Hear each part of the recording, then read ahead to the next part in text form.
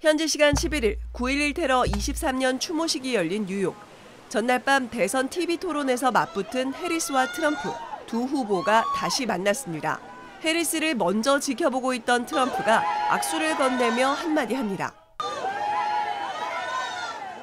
일부 현지 언론은 트럼프가 해리스의 승리를 인정한 것이라고 전했습니다.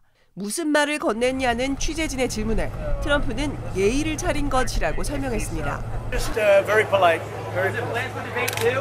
it was a great. Uh, we had a great debate. We had uh, great poll numbers on the debate, and we enjoyed it. I think. I hope she enjoyed it too. 언론과 정치권에선 토론에 대해 해리스의 판정승이란 평가를 내렸지만 트럼프는 여전히 자신감을 보였습니다. CNN은 토론에서의 승리가 선거의 승리로 이어지는 것은 아니었다면서 2016년에 트럼프 역시 토론에서 패배했다는 평가를 받았지만 선거에선 이겼다고 분석했습니다. 그러면서 트럼프가 경제와 이민이라는 두 가지 주요 이슈에서 우위를 점하고 있다는 점에 주목했습니다.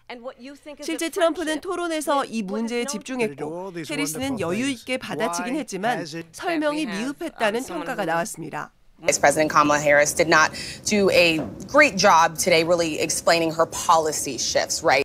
트럼프 후보 역시 토론 이후 자신의 소셜미디어 X 계정에 해리스가 지금까지 제대로 하지 못했다는 점을 강조했습니다. So she just started by saying she's going to do this, she's going to do that, she's going to do all these wonderful things. Why hasn't she done it? She's been there for three and a half years.